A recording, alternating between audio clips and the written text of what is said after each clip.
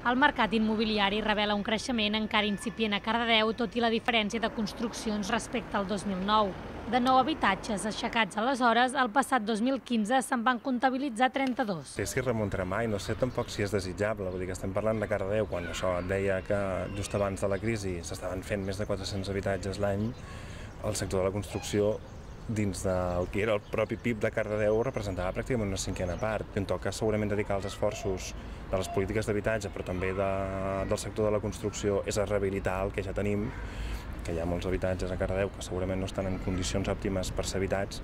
De moment, promocions noves ben poques, però el que s'hi han fet algunes promotores immobiliàries és acabar construccions arrelentides. Som una mica prudents a veure com va la situació econòmica, política, perquè hi ha molta incertesa a nivell econòmic. Últimament vaja, la tendència ha canviat, la gent no vol comprar, la gent té poca liquidez. El sector de la construcció continua en hores baixes tot i haver-se normalitzat. Els preus dels lloguers que portaven anys abaixant-se finalment s'han estabilitzat.